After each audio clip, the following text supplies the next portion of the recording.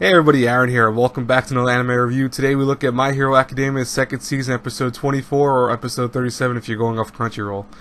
So, yeah, you know, I haven't slept yet, um, and part of me was like, you know, I want to go to sleep. I, I'd rather just wake up in the morning and watch this, but at that point I was like, I looked at the time, it was already 5.30, I'm like, might as well watch it. I, just, I needed to see this episode, because I've been, I've been so hyped for the battle between All Might and Deku and, uh, Bakugo that I've been eagerly anticipating because I've heard from people that this is supposed to be like one of the cooler fights of the series, and they weren't lying. This was an awesome fight. You know, was it the best of the series? I don't know about the best, but it definitely had some of the most emotions we've gotten so far.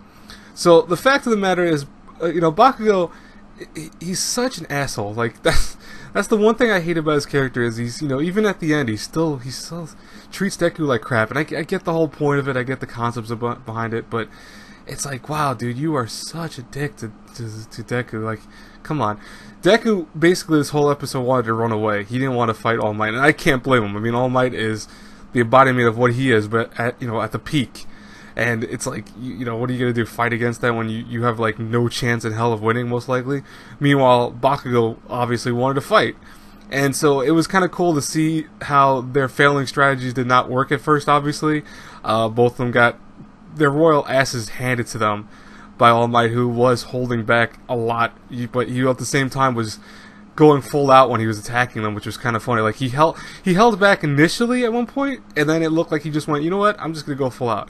I mean, he even hurt like at the end of this episode. Obviously, we're skipping ahead a little bit, but he even hurt like Deku by the by almost busting his back up essentially, and you know the recovery girl got pissed off at that for the fact that he doesn't hold back. That's that's that's All Might's nature. You know he he went into the role of being a villain because he wanted to see where these kids had progressed, and you know he was surprised to see that they got a lot better. And for the most part, even though they had a horrible team up for the beginning of this episode. Near the end, it was a little bit better. Obviously, they decided to go with the kind of flight and the fight and flight strategy, where they would hit him, then they would run away to get to the escape point. But obviously, that didn't work. It was more so luckily that uh, Bakugo stepped in, used all of his power instead of using the grenade cannons he had because they were destroyed by All Might. Went full on with with his powers and it was interesting because we've actually only seen like glimpses of that, like what he can do with his hands so far. But that's the reason why I, I, I completely forgot about that. Was he had those um, grenade things on his hand to kind of uh, reduce the amount of damage he did with his arms. But when they were you know kind of taken away from him, he went full on with them, which was kind of cool.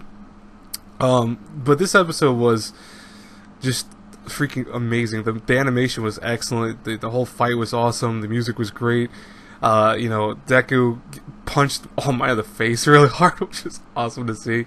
Uh, you know, it, it, was a fitting conclusion. I, I, really love the narration by Deku at the end too, which I thought was really cool about how they all kind of had different revelations in this fight. You know, like they realized what their weaknesses were. They realized what they can do to overcome, you know, their their worst at their worst when it comes to like fighting in general.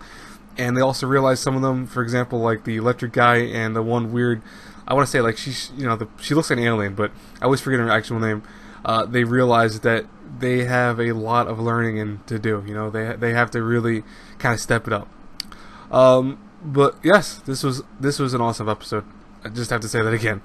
Uh, so by the way, guys and girls, I do apologize if I sound a little tired or I look I look out of it. I am tired. Um, but I'm gonna stay awake for a little while longer. Obviously, I figured to do the review because I wanted to just have it when it was fresh in my mind. I didn't want to wait.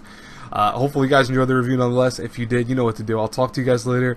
Uh, I have a few other reviews today. I think um, Welcome to the Ballroom I have later out today, uh, and then you know probably Kakegurui if it comes out tonight at a, at a reasonable time. Um, and then maybe I'll see if I can get to um, Kiri Cycle because that episode 7 dropped out like three weeks ago and I didn't even realize that. So I'll try to get that out uh, probably today, hopefully. Uh, Recreators obviously is done, so that's not coming out. But anyways, I will talk to you guys later. Have a brilliant, blessed day, everyone. God bless you all. Bye bye.